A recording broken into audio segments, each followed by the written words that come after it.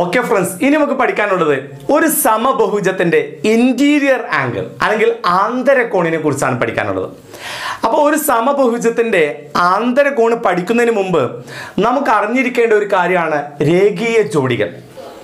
രേഖീയ ജോഡികളുടെ തുക നൂറ്റി ഡിഗ്രി ആയിരിക്കും. എന്താ രേഖീയ ജോഡി എന്ന് പറഞ്ഞാൽ ഒരു രേഖ. ആ രേഖയിലുള്ള കോണുകൾ ഈ കോണും ഈ കോണും ഈ രണ്ട് കോണുകൾ കൂട്ടുന്നതിനെയാണ് രേഖീയ ജോഡിയിലെ കോണുകളുടെ തുക എന്ന് പറയുന്നത് ഓക്കെ അപ്പോൾ ഒരു രേഖയിൽ ഉണ്ടാകുന്ന രണ്ട് കോണുകൾ ആ കോണുകൾ കൂട്ടുന്നതിനെയാണ് രേഖീയ ജോഡികളുടെ തുക എന്ന് പറയുന്നത് രേഖീയ ജോഡിയിലെ കോണുകളുടെ തുക നൂറ്റി എൺപത് ഡിഗ്രി ആയിരിക്കും. ഈ ഒരു ബേസിക് ആയിട്ടുള്ള കാര്യം വെച്ചുകൊണ്ടാണ് നമ്മൾ ഇതിന്റെ ആന്തര കോണിനെ കുറിച്ച് പഠിക്കാൻ പോകുന്നത് ഓക്കെ അല്ലേ? അതായത് ഈ കോണ് എൺപത് ഡിഗ്രി ആണെങ്കിൽ ഈ കോൺ എത്രയായിരിക്കും? നൂറ് ഡിഗ്രി ആയിരിക്കും. എന്താ കാര്യം? രേഖീയ ചോടിയിലെ കോണുകളുടെ തുക നൂറ്റി എൺപത് ഡിഗ്രി ആയിരിക്കും. ഓക്കെ ഇത് എൺപത് ഡിഗ്രി ആണെങ്കിൽ ഇത് നൂറ് ഡിഗ്രി. ക്ലിയർ ആവുന്നുണ്ടല്ലോ? ഓക്കെ അപ്പൊ ഇതൊരു രേഖയാണ്. ഇവിടെ ഞാൻ എത്ര കോണുകൾ വേണമെങ്കിലും വരച്ചാലും ശരി ഈ കോണുകളെല്ലാം കൂടെ കൂട്ടിക്കഴിഞ്ഞാൽ കിട്ടുന്ന കോണളവ് എന്ന് പറയുന്നത് എത്ര ഡിഗ്രി ആയിരിക്കും? നൂറ്റി എൺപത് ഡിഗ്രി ആയിരിക്കും. ഓക്കെ ഇപ്പൊ ഞാനിവിടെ പറയുന്നു ഇത് ഇതെന്ന് പറയുന്നത് അൻപത് ഡിഗ്രിയാണ്. ഇതെന്ന് പറഞ്ഞാൽ നൂറ് ഡിഗ്രിയാണ് എങ്കിൽ ഈ കോൺ എത്ര? എന്ന് ചോദിച്ചു നമുക്ക് എങ്ങനെ കാണാൻ പറ്റും? ഇതെല്ലാം കൂടെ കൂട്ടിയ നൂറ്റി എൺപത് ഡിഗ്രിയാണ്. അതിൽ ഈ കോൺ നൂറ് ഡിഗ്രി ഈ കോൺ അൻപത് ഡിഗ്രി. അപ്പൊ നൂറ്റി എൺപതിൽ നിന്ന് നൂറ്റി അൻപത് കുറച്ച് ബാക്കി മുപ്പത് ഡിഗ്രി ആയിരിക്കും ഈ ഒരു കോണളവ് എന്ന് പറയുന്നത് ക്ലിയർ ആവുന്നുണ്ടല്ലോ? അപ്പൊ നമുക്ക് ബേസിക് ആയിട്ട് അറിഞ്ഞിരിക്കേണ്ട പോയിന്റ് ആണ്. ഒരു രേഖീയ ജോഡിയിലെ കോണുകളുടെ തുക എത്ര ഡിഗ്രി ആയിരിക്കും? നൂറ്റി എൺപത് ഡിഗ്രി വൺ എയ്റ്റി ഡിഗ്രി ആയിരിക്കും. ഇനി നമുക്ക് ഇന്റീരിയർ ആംഗിൾ ആംഗിളിനെ കുറിച്ച് പഠിക്കാം. അല്ലെങ്കിൽ ആന്തര കോണുകളെ കുറിച്ച് പഠിക്കാം. ഓക്കെ ശ്രദ്ധിക്കുക. അപ്പൊ നമ്മൾ ചെയ്യാൻ പോകുന്നത് ഇത്രയേ ഉള്ളൂ. നമ്മൾ പഠിച്ചിട്ടുണ്ട് ഒരു സമബഹുഭുജത്തിന്റെ ഒരു ആന്തര കോണിന്റെ അളവ് കാണാൻ നമ്മൾ പഠിച്ചിട്ടുണ്ടല്ലോ. ഓക്കെ അതായത് ഇപ്പോൾ ഒരു ത്രികോണത്തിന്റെ ഒരു ആന്തര കോണ് ചോദിക്കുകയാണെങ്കിൽ നമ്മൾ ചെയ്യേണ്ടത് ആ ത്രികോണത്തിന്റെ ഒരു ബാഹ്യകോണ് നമ്മൾ കാണണം. കാര്യം ബാഹ്യകോണ് കാണാൻ നമ്മൾ പഠിച്ചിട്ടുണ്ടേ. എന്നിട്ട് എന്ത് ചെയ്യാം? അപ്പൊ ഇത് കിട്ടിക്കഴിഞ്ഞാൽ ഇത് നമുക്കറിയാം ഇതൊരു രേഖീയ ജോഡിയാണ്. അതുകൊണ്ട് തന്നെ നൂറ്റി എൺപതിൽ നിന്ന് ഈ ബാഹ്യകോണിന്റെ അളവ് കുറച്ച് കഴിഞ്ഞാൽ നമുക്ക് അതിന്റെ ആന്തരകോണിന്റെ അളവ് കിട്ടും. ഓക്കെ ആണല്ലോ. അപ്പോൾ ഒരു സമബഹുജത്തിന്റെ ഒരു ആന്തരകോണിന്റെ അളവ് കാണാൻ എന്ത് ചെയ്താൽ മതി? നൂറ്റി എൺപത് ഡിഗ്രിയിൽ നിന്ന് ഒരു ബാഹ്യകോണിന്റെ അളവ് കുറച്ചാൽ മതി. എന്താണ്? നൂറ്റി എൺപത് ഡിഗ്രിയിൽ നിന്നും ഒരു ബാഹ്യകോണിന്റെ അളവ് കുറച്ചാൽ മതി. മൈനസ് ബാഹ്യകോൺ അല്ലേ? ഒരു ബാഹ്യകോണിന്റെ അളവ്. ക്ലിയർ ആവുന്നുണ്ടല്ലോ? അപ്പോൾ ഒരു സമബഹുജത്തിന്റെ ഒരു ബാ- ഒരു ആന്തരകോണിന്റെ അളവ് കാണുന്നതിനുള്ള സമവാക്യമാണ് നൂറ്റി എൺപത് ഡിഗ്രി മൈനസ് ഒരു ബാഹ്യകോണിന്റെ അളവ്. ഓക്കെ അപ്പോൾ നമുക്ക് ഓരോന്നായിട്ട് ചെയ്തു നോക്കാം അല്ലേ? അപ്പോൾ ഇവിടെ ഒരു സമഭുജ ത്രികോണത്തിന്റെ ഒരു ആന്തരകോണിന്റെ അളവ്. അതൊക്കെ നമുക്ക് അറിഞ്ഞിരിക്കേണ്ടതാണ്. എങ്കിൽ പോലും നമുക്ക് ഈ സമവാക്യം ഉപയോഗിച്ച് എങ്ങനെയാണ് അതിന്റെ ആന്തരകോണ് വരുന്നത് എന്ന് നോക്കാം നമുക്ക്. അപ്പോൾ ഇവിടെ ഒരു സമബഹുജത്തിന്റെ ഒരു ആന്തരകോണിന്റെ അളവ് ചോദിച്ചാൽ നമ്മൾ എന്ത് ചെയ്യണം? നൂറ്റി എൺപതിൽ നിന്ന് എന്ന് പറയുന്നത് ഇതൊരു രേഖീയ ജോഡിയാണ്. ഈ കോണുകളുടെ തുക നൂറ്റി എൺപത് ഡിഗ്രിയാണ് നൂറ്റി എൺപത് ഡിഗ്രിയിൽ നിന്ന് ഈ ഒരു ബാഹ്യകോണിന്റെ അളവ് കുറച്ചാൽ മതി. അപ്പോൾ ബാഹ്യകോണിന്റെ അളവ് കാണാൻ എന്ത് ചെയ്യേണ്ടത്? ആ മുന്നൂ അതായത് മുന്നൂറ്റി അറുപത് ഡിവൈഡഡ് ബൈ ഇതിന്റെ വശങ്ങളുടെ എണ്ണം മൂന്ന് അല്ലേ? അപ്പം മുന്നൂറ്റി അറുപതിനെ മൂന്ന് കൊണ്ട് ഹരിച്ചപ്പോൾ നമുക്ക് നൂറ്റി ഇരുപത് ഡിഗ്രി എന്ന് കിട്ടി. എന്ന് പറഞ്ഞാൽ ഇതിന്റെ ഒരു ബാഹ്യ കോണിന്റെ അളവ് നൂറ്റി ഇരുപത് ഡിഗ്രിയാണ്. മനസ്സാണല്ലോ അങ്ങനെയാണെങ്കിൽ ഈ ത്രികോണത്തിന്റെ ഈ സമഭുജ ത്രികോണത്തിന്റെ ആന്തര കോണിന്റെ അളവ് കാണാൻ നൂറ്റി എൺപതിൽ നിന്ന് നൂറ്റി ഇരുപത് കുറച്ചാൽ നമുക്ക് കിട്ടും അറുപത് ഡിഗ്രി. നമുക്കറിയാം ഒരു സമബഹു ഒരു സമഭുജ ത്രികോണത്തിന്റെ ഓരോ കോണും എത്ര ഡിഗ്രിയാണ്? അറുപത് ഡിഗ്രി വീതമായിരിക്കും. ക്ലിയർ ആവുന്നുണ്ടല്ലോ. ഓക്കെ എനിക്ക് ചോദ്യം ഇതാണ്. നിങ്ങൾക്ക് എല്ലാവർക്കും അറിയാം ഒരു സമചതുരത്തിന്റെ ആന്തരകോണം എത്രയെന്ന് നിങ്ങൾക്ക് എല്ലാവർക്കും അറിയാം.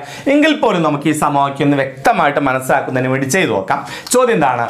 ഒരു സമചതുരത്തിന്റെ ഓരോ ആന്തരകോണും എത്ര ഡിഗ്രി? ഇതാണ് ചോദ്യം. ഓരോ ആന്തരകോണും എത്ര ഡിഗ്രി? എന്ത് ചെയ്യണം?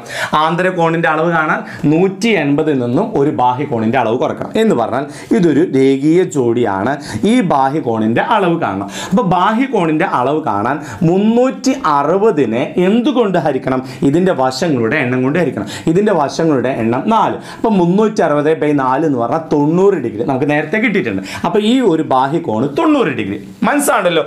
അങ്ങനെയാണെങ്കിൽ ഈ ഒരു ആന്തര കോണാണ് കാണേണ്ടത്. എന്ന് പറഞ്ഞാൽ ഇതൊരു രേഖീയ ജോഡിയിലെ കോണുകളാണ്. രേഖീയ ജോഡിയിലെ കോണുകളുടെ തുക നൂറ്റി എൺപത് നൂറ്റി എൺപതിൽ നിന്ന് ഈ തൊണ്ണൂറ് കുറച്ച തൊണ്ണൂറ് ഡിഗ്രി എന്ന് കിട്ടും.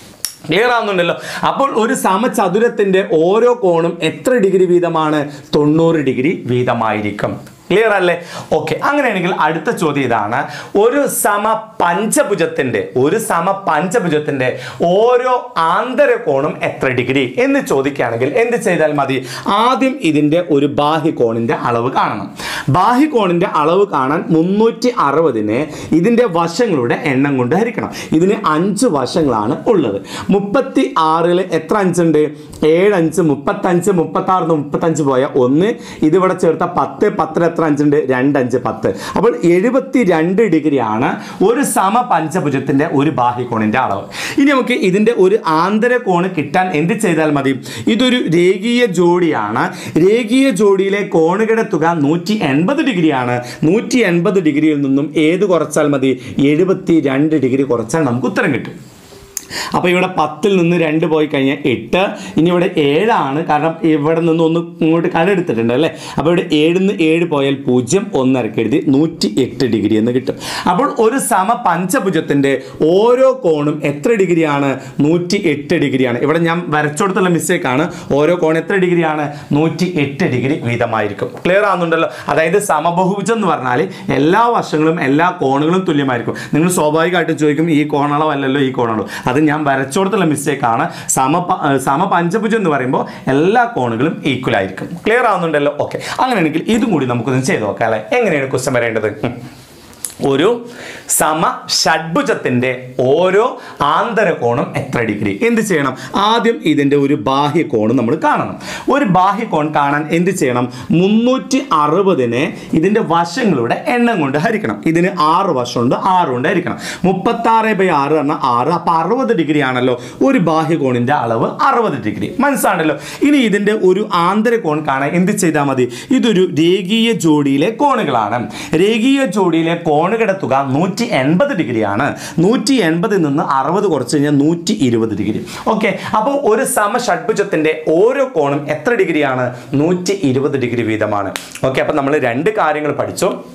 ഒരു സമബഹുജത്തിന്റെ ഒരു ബാഹ്യകോണിന്റെ അളവ് കാണാനുള്ള സമവാക്യം മുന്നൂറ്റി അറുപത് ഡിവൈഡഡ് ബൈ വശങ്ങളുടെ എണ്ണം. ഓക്കെ അല്ലേ?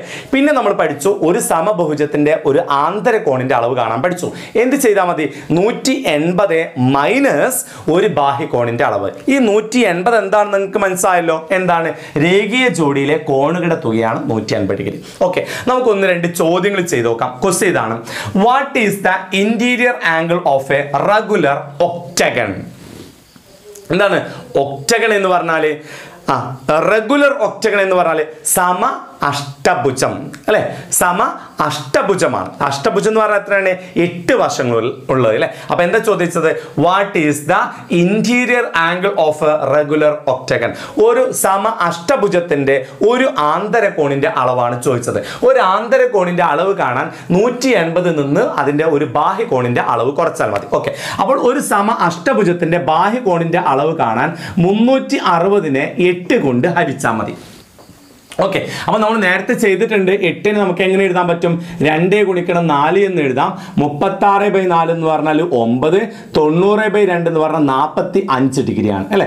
അപ്പോൾ ഒരു സമ അഷ്ടഭുജത്തിന്റെ ഒരു ബാഹ്യകോണിന്റെ അളവ് നാൽപ്പത്തഞ്ച് ഡിഗ്രി. നമ്മളോട് ചോദിച്ചിരിക്കുന്നത് ഒരു സമ അഷ്ടഭുജത്തിന്റെ ഒരു ആന്തരകോണാണ് ഒരു ആന്തരകോണ് കാണാൻ നൂറ്റി എൺപത് ഡിഗ്രിയിൽ നിന്നും ബാഹ്യകോണായ നാൽപ്പത്തഞ്ച് ഡിഗ്രി കുറച്ചാൽ മതി.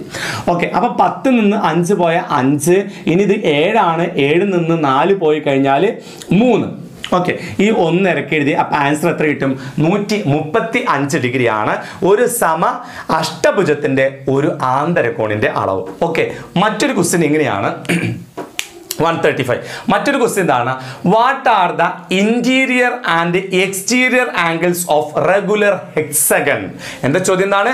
What are the interior and exterior angle of regular hexagon ഒരു സമ ഷഡ്ഭുജത്തിന്റെ ഓരോ ആന്തരകോണും ബാഹ്യകോണുമാണ് കാണേണ്ടത്. അത് ഓൾറെഡി നമ്മൾ കണ്ടിട്ടുണ്ട്. ഒരു സമ ഒരു സമ ഷഡ്ഭുജത്തിന്റെ ബാഹ്യകോണ് അറുപത് ഡിഗ്രിയും ആന്തരകോണ് നൂറ്റി ഇരുപത് ഡിഗ്രിയുമാണ്. ഓക്കെ മറ്റൊരു ക്വസ്റ്റ്യൻ നോക്കാം നമുക്ക്. ഒരു സമബഹുഭുജത്തിന്റെ ഒരു ആന്തരകോൺ നൂറ്റി അൻപത് ഡിഗ്രി ആയാൽ അതിന്റെ വശങ്ങളുടെ എണ്ണം എത്ര? നല്ലൊരു ക്വസ്റ്റ്യൻ അല്ലേ? എന്താ ചോദ്യം എന്താണ്? ഒരു സമ ബഹുഭുജത്തിന്റെ ഒരു ആന്തരകോൺ നൂറ്റി അൻപത് ഡിഗ്രി ആയാൽ അതിന്റെ വശങ്ങളുടെ എണ്ണം എത്ര? ഓക്കെ അപ്പൊ ആന്തരകോൺ നൂറ്റി ഓക്കെ ഞാൻ ഇങ്ങനെ വരയ്ക്കുകയാണ്. ആന്തരകോൺ നൂറ്റി അൻപത് ഡിഗ്രിയാണ് അങ്ങനെയാണെങ്കിൽ ബാഹ്യകോണ് കാണാൻ എന്ത് ചെയ്താൽ മതി? മൊത്തം നൂറ്റി അൻപത് ഡിഗ്രി ആണല്ലോ. രേഖീയ ജോഡി ആയതുകൊണ്ട് നൂറ്റി അൻപത് ഡിഗ്രി. അപ്പൊ നൂറ്റി അൻപത് ഡിഗ്രിയിൽ നിന്ന് ഈ നൂറ്റി അൻപത് അങ്ങ് കുറച്ച ബാക്കി എത്ര ഉണ്ട്? മുപ്പത് ഡിഗ്രി. ഓക്കെ ആണല്ലോ. അപ്പൊ നമുക്ക് തന്നിരിക്കുന്ന എന്താ ചോദ്യം എന്താണ്? ഒരു സമബഹുജത്തിന്റെ ഒരു ആന്തരകോണ് നൂറ്റി അൻപത് ഡിഗ്രി ആയാൽ അതിന്റെ വശങ്ങളുടെ എണ്ണമാണ് ചോദിച്ചിരിക്കുന്നത്. അങ്ങനെ ചോദിച്ചു കഴിഞ്ഞാൽ നമ്മൾ ചെയ്യേണ്ടത് ഒരു ബാഹ്യകോണിന്റെ അളവ് കാണണം. ബാഹ്യകോണിന്റെ അളവ് മുപ്പത് ഡിഗ്രി. നമുക്കറിയാം ബാഹ്യകോണിന്റെ അളവുകളുടെ തുക അല്ലെ? ഒരു ഏതൊരു ഏതൊരു ബഹുഭുജത്തിന്റെയും ബാഹ്യകോണുകളുടെ അളവുകളുടെ തുക മുന്നൂറ്റി അറുപത് ഡിഗ്രിയാണ്. അതിന് ഈ ഒരു ഈ ഒരു ബാഹ്യകോണിന്റെ അളവ് കൊണ്ട് ഹരിച്ചു കഴിഞ്ഞാൽ ആ സമ ബഹുഭുജത്തിന്റെ വശങ്ങളുടെ എണ്ണം നമുക്ക് കിട്ടുമെന്നുള്ളതാണ്. ഒരിക്കൽ കൂടി പറയുന്നു. ഇവിടെ നമുക്ക് ചോദ്യത്തിൽ തന്നിരിക്കുന്നത് ഒരു സമബഹുജത്തിന്റെ ഒരു ആന്തരകോണിന്റെ അളവാണ് തന്നത്. നൂറ്റി അൻപത് ഡിഗ്രി. ഒരു സമബഹുജത്തിന്റെ ഒരു ആന്തരകോണിന്റെ അളവ് കിട്ടിക്കഴിഞ്ഞാൽ നമുക്ക് ബാഹ്യകോണിന്റെ അളവ് കാണാൻ എളുപ്പമാണ്. കാര്യം എന്താ? ഈ ആന്തരകോണും ബാഹ്യകോണും കൂടി കൂട്ടിക്കഴിഞ്ഞാൽ നൂറ്റി എൺപത് ഡിഗ്രിയാണ് ആ നൂറ്റി എൺപതിൽ നിന്നും നൂറ്റി അൻപത് കുറച്ച് കഴിഞ്ഞാൽ മുപ്പത് ഡിഗ്രി എന്ന് കിട്ടും. എന്ന് പറഞ്ഞാൽ ആ സമബഹുജത്തിന്റെ ഒരു ബാഹ്യകോണിന്റെ അളവ് മുപ്പത് ഡിഗ്രി. ഇനി ആ സമബഹുജത്തിന്റെ വശങ്ങളുടെ എണ്ണം കാണുന്നതിന് വേണ്ടി എന്ത് ചെയ്താൽ മതി? നമുക്കറിയാം ഒരു സമബഹുജത്തിന്റെ ബാഹ്യകോണുകളുടെ തുക മുന്നൂറ്റി അറുപത് ഡിഗ്രിയാണ്. അതിനെ ഈ ഒരു ബാഹ്യ കോണിന്റെ അളവ് കൊണ്ട് ഹരിച്ചു കഴിഞ്ഞാൽ ആ സമബഹുജത്തിന്റെ വശങ്ങളുടെ എണ്ണം കിട്ടും. ഓക്കെ ആണല്ലോ? അപ്പോൾ ഇതിനെ നമുക്ക് എന്തുകൊണ്ട് ഹരിക്കാം ഒരു ബാഹ്യകോണിന്റെ അളവായ മുപ്പത് കൊണ്ട് ഹരിക്കാം. അപ്പോൾ സീറോ സീറോ വെട്ടി. ദാറ്റ് ഈസ് ഇക്കൽ ടു മൂന്നിൽ എത്ര മൂന്നുണ്ട് ഒരു മൂന്ന് മൂന്ന്. ആറിൽ എത്ര മൂന്നുണ്ട് രണ്ട് മൂന്ന് ആറ്. അപ്പൊ നമുക്ക് പന്ത്രണ്ട് എന്ന് കിട്ടി. എന്ന് പറഞ്ഞാൽ പന്ത്രണ്ട് വശങ്ങളുള്ള ഒരു ബഹുഭുജത്തിന്റെ ഓരോ ബാഹ്യകോണും എത്ര ഡിഗ്രി ആയിരിക്കും? നൂറ്റി അൻപത് ഡിഗ്രി വീതമായിരിക്കും എന്നർത്ഥം. ഓക്കെ